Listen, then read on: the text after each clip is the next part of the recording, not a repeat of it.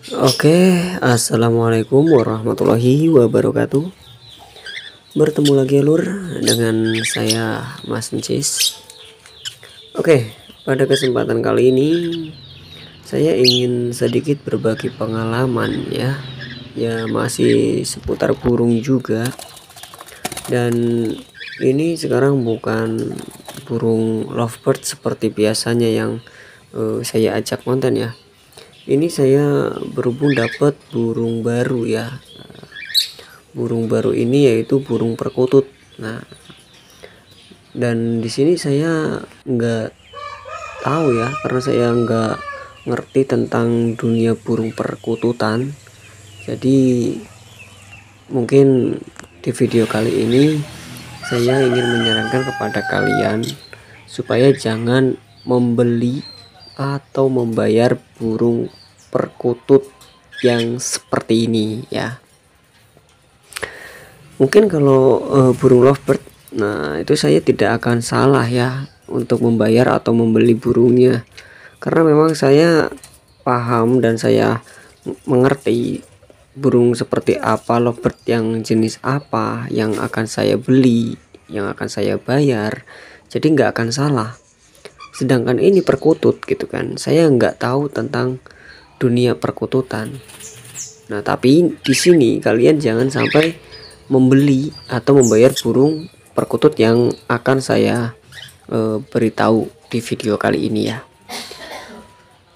Oke, nah ini burungnya seperti ini. Untuk sayap memang dia agak sedikit turun ya. Enggak enggak ngaruh, enggak ngaruh untuk sayap itu. Dan untuk bentuknya juga masih sama bulunya pun sama seperti perkutut pada umumnya ya. Tidak ada yang aneh dari perkutut ini. Tapi kalian jangan sampai membeli atau membayar burung perkutut seperti ini ya. Saya wanti-wanti saya ingatkan pokoknya jangan kalian membeli atau membayar burung perkutut seperti ini. Nanti saya akan kasih tahu alasannya kenapa ya. Nah jadi seperti ini ya.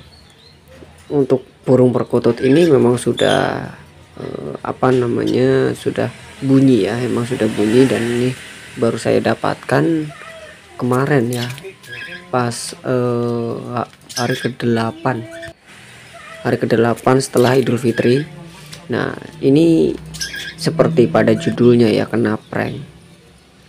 Jadi untuk burung perkutut ini kalian jangan sampai beli ya seperti ini.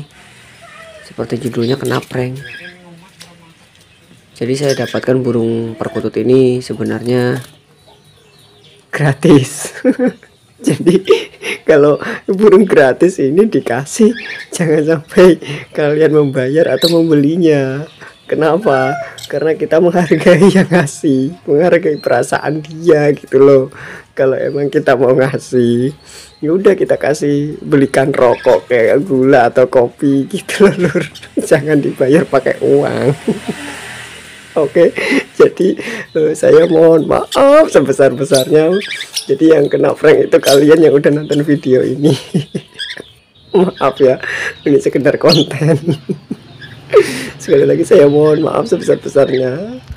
Jadi yang nggak boleh dibayar itu kalau dikasih. Kalau beli di toko burung atau yang jual burung ya harus dibayar ya. Oke sekali lagi saya mohon maaf dan saya tutup. Assalamualaikum warahmatullahi wabarakatuh